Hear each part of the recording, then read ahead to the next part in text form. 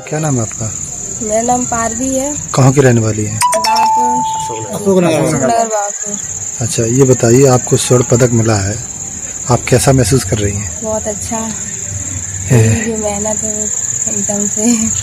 तो के कब मतलब कहाँ पढ़ाई करती हैं आप? जे एम बी रीतमल में पढ़ते हैं। पिताजी क्या करते हैं आपके? मार्केट में सब्ज़ी बेचती। सब्ज़ी बेचते हैं। आगे क्या बनना चाहती हैं आप?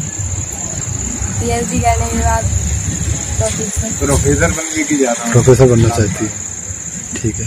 कितनी खुशी है आपको? बहुत ज़्यादा। किसान के बेटे ने स्वर्ण पदक पाकर किया नाम रोशन। प्रतिभाएँ पैसों की मोहताज नहीं होती। बाबरपुर कस्बे के मोहल्ला अशोक नगर निवासी एक किसान की बेटी ने दो जनपदों में सर्वाधिक अंक हासिल कर एक आयोजन के तहत स्वर्ण पदक पाकर सिद्ध कर दिया है। कस्बे के मोहल्ला अशोक नगर निवासी गोविंद कुशवाहा खेती कर अपना जीवन यापन करते हैं। उनकी पत्नी मंजू गृहिणी है। दो छोटे बेटे अभी प्राथमिक विद्यालय में अध्ययनरत हैं। वहीं इकलौती बेटी पारवी को इटावा जनपद के बकेवर स्थित एक महाविद्यालय में आयोजित कार्यक्रम के तहत प्रसिद्ध पत्र और स्वर्ण पद मिला तो परिवार को बेटी होने पर गर्व महसूस हुआ।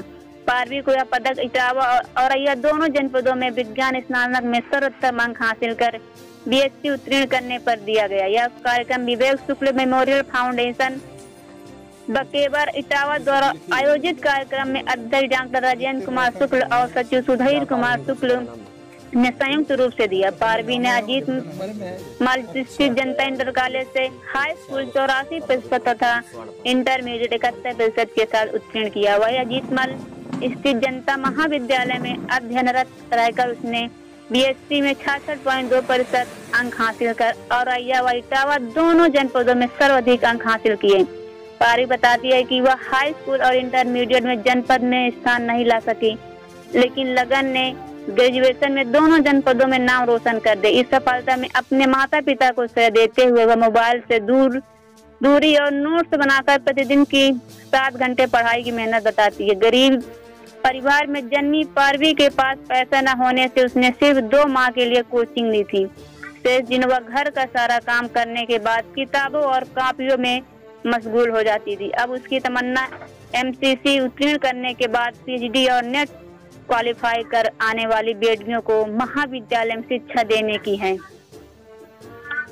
आपका? कहाँ की रहने वाली हैं? ही बावरी अच्छा। आपकी बेटी को स्वर्ण पदक मिला है आप कैसा महसूस कर रही हैं? बहुत बढ़िया रहा है कि मेरी बिटिया ने इतनी मेहनत करी है जो स्वर्ण पदक मल मिल आपका भी बहुत बड़ा योगदान रहा होगा। आप क्या चाहती हैं? आपकी बिटिया किस ऊंचाई तक पहुँचे? ऐसे पढ़ते रहेंगे और अपने भविष्य में अपने जीवन संभालने और का हम तो ये सोच भी नहीं रहे थे कि हमें यानी कभी ऐसी स्वर्ण पदक मिले हमारे बच्चन को। हमें तो ज़्यादा सीमा से ज़्यादा यानी बहुत ज़्यादा खुशी है। कहाँ पढ़ती है आपकी बेटी? जनता महाविद्यालय अजीतमाल। क्या करते हैं आप? हम मेहनत मजदूरी मान लो। कैसा महसूस कर रहे हैं आप? हम बहुत बढ़िया यानी खुशी जब से मिली ये स्वर्ण पदक मिला है तब से हम बिल्कुल यानी समझ रहे। कि हम बहुत ही बढ़िया